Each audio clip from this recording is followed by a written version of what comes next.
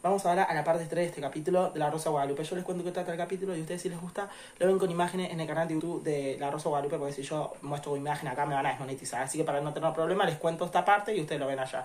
Isabel es reconocida como empleada doméstica.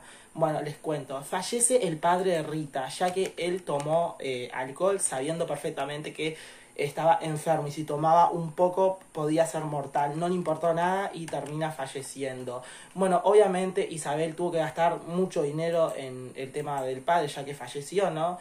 Eh, así que eh, Rita eh, nunca se apareció y Isabel le reclama, pero claro, ¿cómo se va a aparecer si el padre siempre fue ese, el, bueno, al otro día no, cuando fallece el padre después de una semana ya una buena para nada porque como no estudió, el padre la sacó, no siente que no sabe hacer nada. Así que bueno, empiezan los problemas porque tiene que pagar la renta y como nunca estudió, no sabe hacer cosas darle todo y Isabel se desespera y le da un poco de dinero y le pide que tenga compasión que ya a la semana le da el, la otra parte. Por lo que el chabón tiene compasión le mete todas las cosas de nuevo a la casa y la deja estar. Pero en una semana tiene que pagar la renta. Mientras tanto Rita aparte de seguir pidiéndole dinero para convencer al noviecito porque es como que el novio de Rita a ver los padres son ricos no y va a una escuela carísima Bien, y claro, ella se hace la que tiene plata, pero no tiene nada, la Rita esta. Entonces siempre le está pidiendo a Isabel.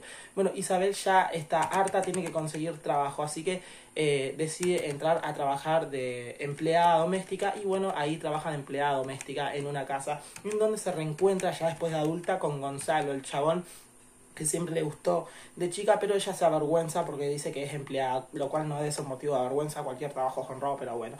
Mientras tanto, Rita, la hermana, está planeando con el noviecito eh, ir a yates y a lugares que sale carísimo, y después va a ir a pedirle plata a Isabel, ¿entiende? Y todo, todo plata, pide, pide, pide, ¿y cómo va a ser? Si tiene que pagar la renta y ahora falleció el padre, o sea, está loca.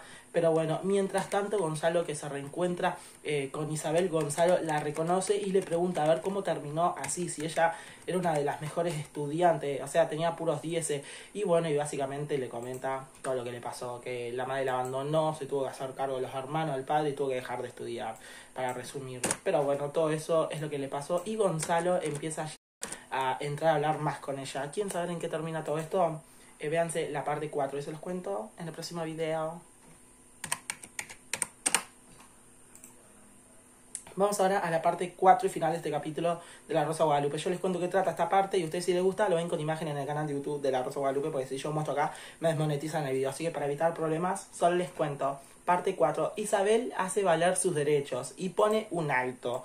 Bueno, Isabel le cuenta a su hermana que se fue a inscribir a la prepa y a retomar sus estudios, pero la hermana la echa para atrás y le dice que está vieja para estudiar y le dice de todo. Sin embargo, Gonzalo le está dando para adelante y le dice que, a ver, no porque le haya pasado todo esto, va a dejar su vida atrás. O sea, puede estudiar siendo grande y, bueno, recibir, hacer un curso y después seguir estudiando para ser abogada, que es el sueño de ella. Pero Gonzalo se está empezando a encariñar mucho con Isabel y le pide para ser el novio, pero esta lo rechaza ya que siente que no.